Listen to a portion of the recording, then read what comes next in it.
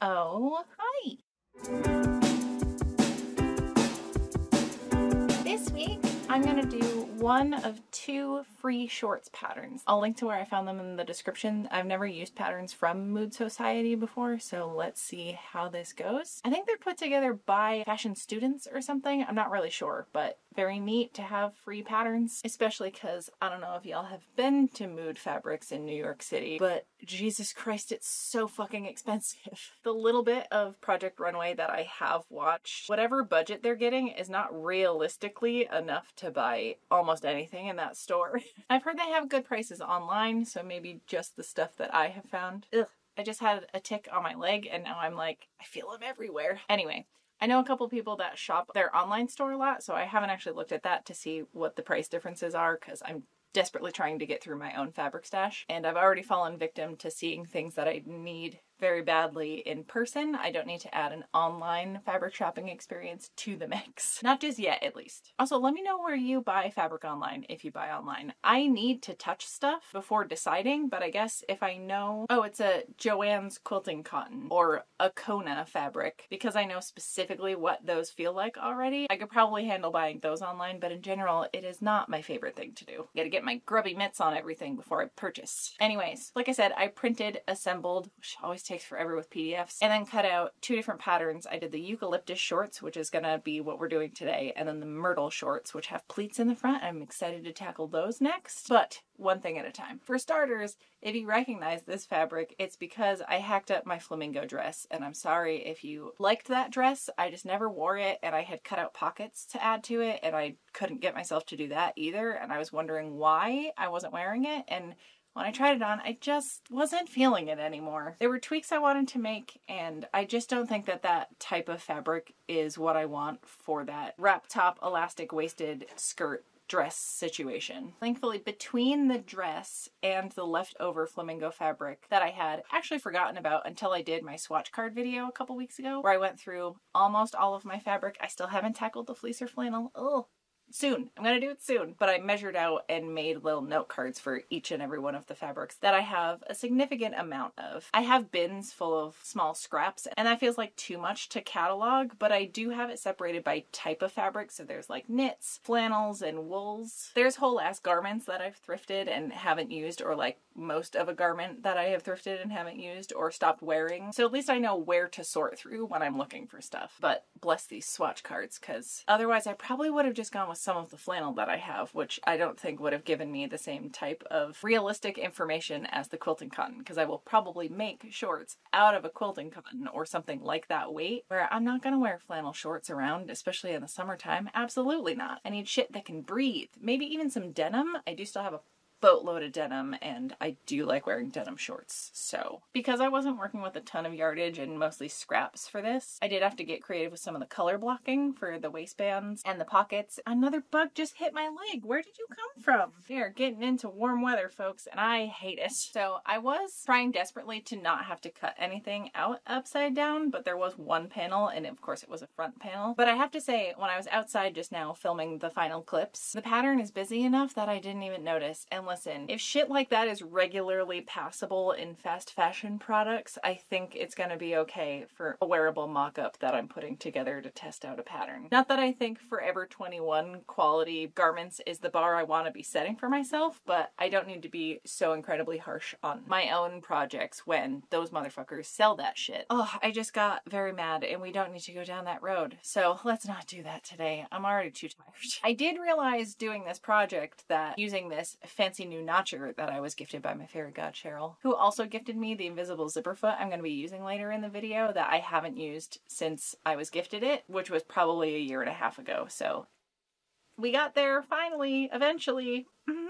Have I mentioned how out of sight, out of mind I am with everything? Anyway, this notcher, when you hold it so that the like sharp part is on the underside, you can actually see the lines on the pattern through that little gap along the bottom. Much like when you're using a hole punch, you can kind of see like the underside of what you're punching through, and sometimes that can help guide you. I don't know, probably insignificant, but it was nice to have it like exactly on the spot that I needed it instead of trying to guess. Okay, and this is really stupid, but one of the pattern pieces, I think is actually for the other pair of shorts, rather than saying cut two of fabric, cut on fold, cut mirrored pieces. It said cut face to face. And it made me laugh every time I saw it because it just made me think of the My Brother, My Brother and Me live shows because that's what they titled the podcast episodes. And speaking of, I hope some of you are fans of MBMBaM and it's not just me because I did send out some mail time perks related to that particular podcast and one of my absolute favorite bits, which I'll actually put in the description. So if you got one of the Shrimp Heaven Now prints, excuse me, I said that with the wrong inflection. Shrimp heaven now. You don't know what the fuck that's a reference to. There's a great animatic that someone made of the bit from the podcast. I mean, also, if you didn't get one of the prints and are like, what is shrimp heaven? You can have a minute or two of giggles along with me. And maybe it's not everyone's sense of humor, but they they hit me right in the giggle dick.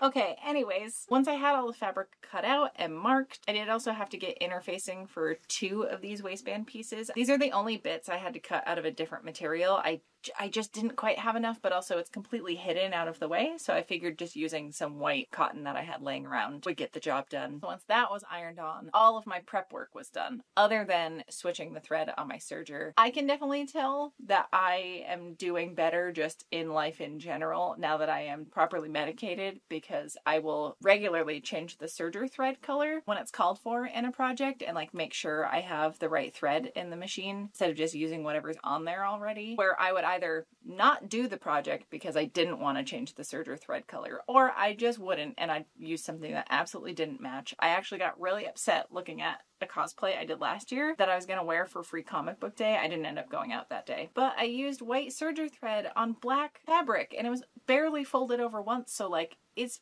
is pretty visible in some spots and it makes me so mad but i don't have enough of that material to remake it so part of me just wants to remake the whole costume. And it was just me being a real lazy prick about it. Looking back i regret not taking the extra couple minutes to do it but thankfully it does feel a lot less overwhelming to do little things like that where it just it felt so impossible to get done before and i'm just i'm very thankful that i get to do better work now because of my brain being in a better place. Okay so the reason i'm doing these shorts first instead of the other ones that i cut out is because these ones have pockets. Now i'm thinking i'm going to put side pockets into the other ones that i made because i cut side seam pockets out for the original flamingo dress i had. So the fabric's just laying there on my cutting table right now staring at me being like please put me in something. So I think I'm going to add those to the other shorts because those did not come with pockets. But for these, I was very excited about doing these pockets because I wasn't sure how it was going to go down because there was one pocket piece where normally when I've made pockets for things there's at least two pieces to make the pocket bag and yeah I just I didn't know how the magic was going to happen. I stitched the pocket along this angled edge of the front pattern piece then because it has a bit of a curve to it I did notch it and then I pressed it and then I like when there's top stitching on the edge of a pocket like this it just helps it hold its shape better and not like fold in on itself. It's also going to keep that line a little more crisp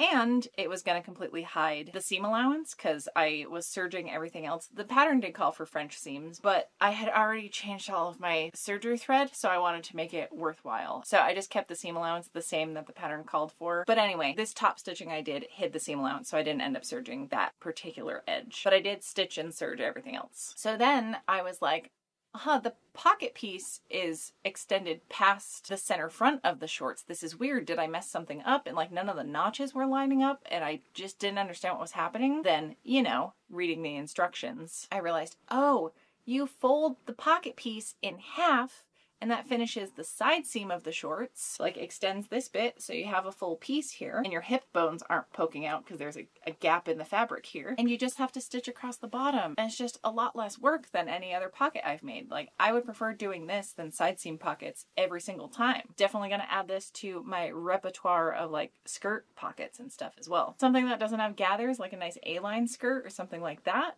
this would be choice. So yes, I stitched across the bottom of the pocket and then I pinned it in a couple spots because now the notches are lining up where they need to be. Then I attached the front pieces together at the rise is what it's called. The part that goes from your waist to your crotch and then likewise the back side is from the small of your back to your crotch. I stitched both of those seams together. Then I had a full front panel and a full back panel. I don't know if this is called flat felling or not when it's just stitching the seam allowance to one side. There must be a term for it and I don't think that's the one, but it gives the same look from the outside as a flat felled seam. And I figured the more durable these seams are, the better. I also could have used a twin needle for this part and I'm not sure why I put the effort into switching the serger thread color and was all mm, I'm gonna make this look as good as possible, but then didn't use one of the tools available to me that gives like the most professional finish out of anything else I have, other than my iron, I suppose. Especially because this is nice, lightweight, thin fabric. There aren't super bulky seams everywhere, so this is ideal for using a twin needle. I guess because these seams don't have to stretch, and a twin needle you can still stretch a little bit,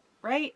I don't know. I didn't say my decisions made sense. It's just what I did. Okay, so then it was sewing the front to the back at the side seams and the crotch. Now I didn't read every single word in this paragraph. I don't really love the layout of the instructions. I, I would work really well with like bullet points or something. These are just kind of like vague and fairly nondescript blocks of words. If you are super unfamiliar with sewing patterns and you don't really know what shorts and pants pieces should look like and where stuff should go, I would not recommend doing this pattern. It's not necessarily difficult, but it's not like a step by step thing. It's just kind of like, I don't know, put this part together and then attach it to this part. It does give the order of things, which is helpful, even though I would change the order just a little bit of how things go together when I absolutely remake these, because I need shorts that fit me, god damn it, because that is almost nothing in my closet right now. Someone was upset that there was filming happening and he wasn't on camera. anyway, I'm giving the pattern instruction shit because I messed up and I sewed up both side seams. I both stitched them closed, did the two rows of top stitching, and then serged it, which I then had to unpick. And something I need to be better about is reading through the instructions ahead of time, because then I would have realized that the pattern called for a side zip. I don't fuck with side zips in this house, but it was too late for me to add seam allowance to the back center waistband and make that alteration, so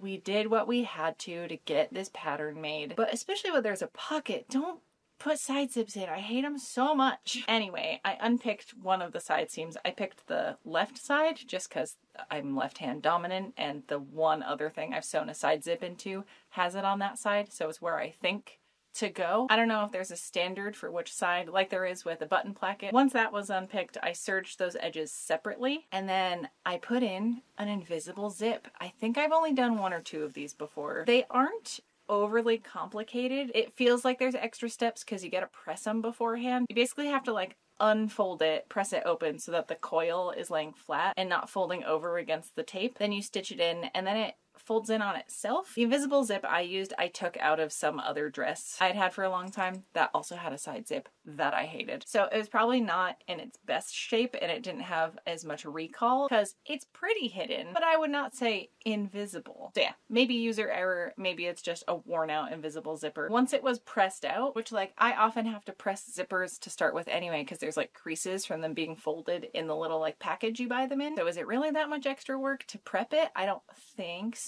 It just feels like an extra step. It is certainly more time consuming and there's more rows of stitching involved when I am putting in a regular zipper and I always thought invisible zippers were more work, but alas, they are not. And I'm glad this reminded me of it and I am going to keep practicing to really get the hang of it because the, it's so quick. It's so quick and I can't believe I am saying this, but I, I am becoming more on board with invisible zippers than I ever thought I would be. Anyway, once it was pressed out, you do stitch it down like right sides together. So then I took my invisible zipper foot. It has these two little grooves underneath and those kind of keep that coil of teeth like unfolded so you can stitch like right next to it and then once I stitched down one side I closed the zipper lined up just one spot where the waistband attached oh also I attached the waistband before I started inserting the zipper just the front part of the waistband so anyway stitched up the second side of the zip once I had that part marked it closed up beautifully. Then I just restitched the bottom part of that seam until it met the bottom of the zipper. Got that to lay nice and smooth. And then I attached the waistband facing, so like the inner layer, that interfaced layer of the waistband, attached that to the top of the front waistband. I do like how this waistband tapers towards the waist, so it's like smaller at the top. I think I need a bigger angle to this. Like I need a more drastic difference between the top and the bottom of the waistband because I don't want it way more tight around my actual hip, but I do do want the actual waist to be smaller, so I gotta noodle around with that a little bit more. And once your invisible zipper is inserted and you zip it up, it just kind of like folds the fabric over itself and that's how it, it hides. It's like when you have a blanket around yourself and you like pull the edges in front of you and you just want to hide away from the world. It's kind of like that. It's just tucking itself in for a nice little nap. So I just pressed the seam allowance of the two waistband pieces towards the facing side. So pushed it up and then folded it over. I did top stitch that just to keep a nice line. I don't actually love how this ended up looking, so I'm not going to do that next time. I'm just going to press it really well and probably understitch. And also take care to make sure that the top tails of my zipper are fully tucked in because they're sticking out just a little bit too much for my liking and it's making it also look a little uneven. Then the very last step was doing a little stitch in the ditch to tuck the waistband facing in place underneath and so no stitches for that were showing from the front. Then I tried them on and I wasn't super in love with how the fit was and I was gonna leave it for the night and decide what to do with it the next day but then got a second wind and was like no we're gonna finish this tonight. So I wanted to take the shorts in more and I didn't want to fuck with the zipper side or the pockets so I didn't mess with the side seams though when I alter the pattern I will take some width off of the pieces at the side seams. So I folded from the top of the waistband in the front so that there was almost like a a half inch pleat that took up a total of one inch of the width and I just like folded that under the entire garment up to the back and the top of the waistband on that side. So I took a total of two inches off of the waist. Still not enough, but it looks a lot better and it's actually like staying up on my body where they were just gonna fall off before. And then I serged and folded up the bottom hem of the leg holes and the shorts were finished. This was actually a really super easy make. And as with every pattern, now that I've gone through it once, it's going to go together a lot quicker next time and I can make the alterations that I need to. Where so much of it is if there's a slightly different shape piece that I'm not used to using, just trying to make sense of where the hell it goes. But this one was super straightforward and there's no fly front zip or buttons going on anywhere. I did actually find this pretty easy to put together. And yeah, I'm glad I tackled the invisible zip for this one because it, it was much easier than I remembered it being. Oh, Ahoy! Well, I didn't mean to, I'm not I didn't say it just because I have this shirt on. Promise I'm not pretending to be a pirate. Though, there are things in the works. That's not what I'm here to talk about, though. A couple days after I finished the flamingo shorts, I did the thing I said I was to do and had enough time to add this into the video. So I made another pair of shorts. I actually basically took the flamingo ones apart. I think I had to take in a total of seven plus inches off of the original pattern, which like I took my measurements right before I picked what pattern size I was going to go with. So it's not like I misjudged what size I needed because I just guessed at my number. Like I had just measured myself and I know ease is a thing, but dang. Anyway, it was a free pattern. I still learned a lot from doing this. It's fine. But I unpicked a lot of the shorts and then I did this like pleat on all four panels, much like how I did the one that's hard to show you. Oh, because I'm not even showing you the right size. Okay. Here we go. Okay, so the first alteration I did, I, I folded over the center seam and went like under the crotch and around to the other side. So that was taking in a total of two inches from the waistband. So I took the waistband apart so I could like lift the whole thing up. So all layers were accessible. I undid the center seam one because it was just loosely top stitched down. Then from all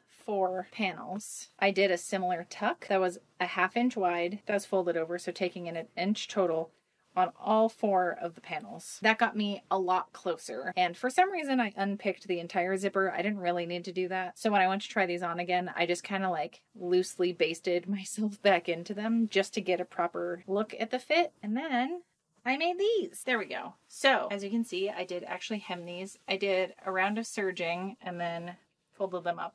And yes, I intentionally left the serging color red because one of the first denim garments I ever owned had red serging on the inside, and this just made me think of it and like I always really liked how that looked, so I kept it. It's fine. Even though all the other stitching is black, it's fine. I did add a center back zip, and I just completely reshaped the waistband here. I cut it down at a curve like this, so that's why it has a little bit more of a shape there. Where it was already angled, but it's like, it's curved, and I actually really like this line that's happening here. I like this. I don't mind that it goes out a bit, like my hips don't come out quite quite this far, but the full effect of these things is uh, feel a little bit tweedledee tweedledum and the legs are so wide that I'm genuinely worried about like flashing someone if I crouch down. So They do not work for me.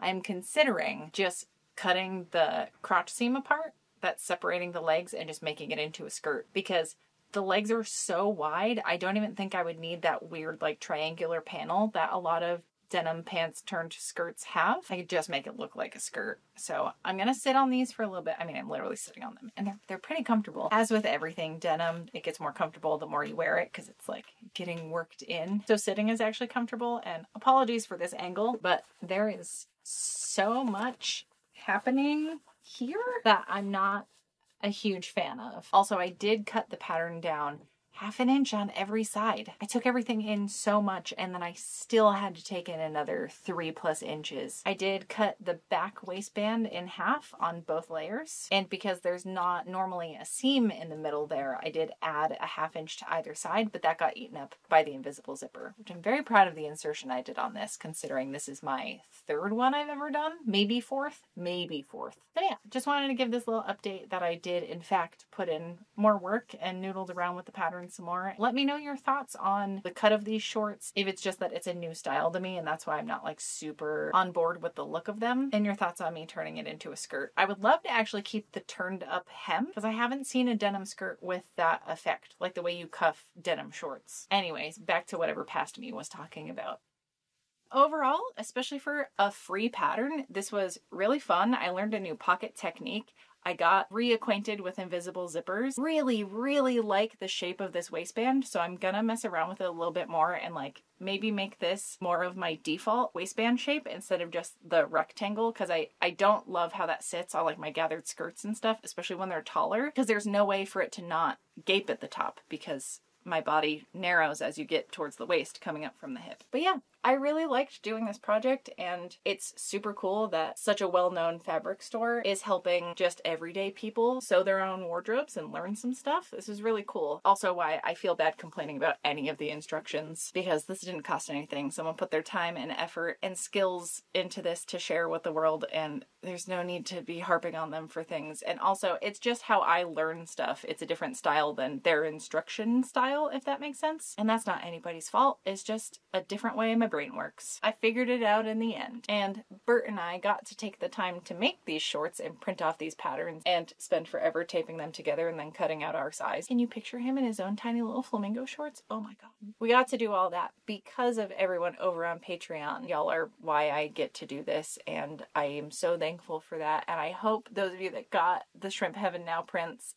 like them got at least a little chuckle, or even if it was mostly confusion, hopefully the video I linked to will help explain it. Later today, I'm going to start tackling the other pair of shorts, so stay tuned for those if you're interested. They do have pleats in the front, so possibly a little bit more flattering of a shape. And I haven't done anything with pleats since I made that skirt at the beginning of this year when I was like, we're overcoming this fear. So this will also be a good project just to freshen up my skills. I'm pretty excited to see how those go together. I think they're gonna be really cute. I think that's gonna do it for me and the little guy. He's getting antsy, so I think we're gonna go for another walk before it gets too hot out. And we will see you back here with another video next Friday. Thank you so much for hanging out. Is this ASMR? Am I doing it?